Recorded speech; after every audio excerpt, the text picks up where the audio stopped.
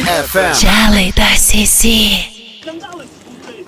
Taip, tai sveiki visi, žinokit, pas mus um, ZipFM studijoje dabar vyksta laivas su tikrom žvaigždėm, su GNG sindikatu, prie manęs pa, pačio stovi per metrą kokį, žinokit, e, tikrasis didžiai mamanė, tikras gyvas, žiūrėkit, pačiupinėjau, viskas su juo gerai. Ne, ne, viskas ok, perduok linkėjimus mūsų ZipFM klausytojams.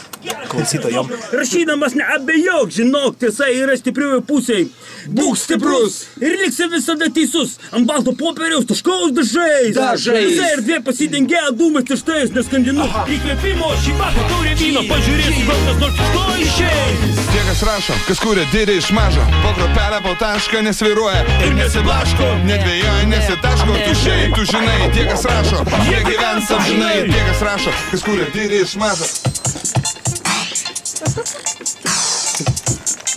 Čia aš dabar turiu laukti kažko.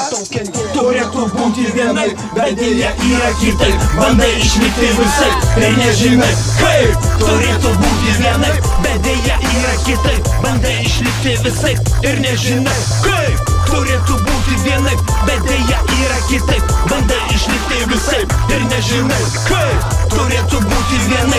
Dėja yra kitaip. Bandai išlikti visai ir nežinai Kai kaip. tau kyla klausimų, kur yra pradžia? Tiesas, gal nežinau, brolau, galbūt tenai, galbūt dabar čia esmė. Prasmė vieniems.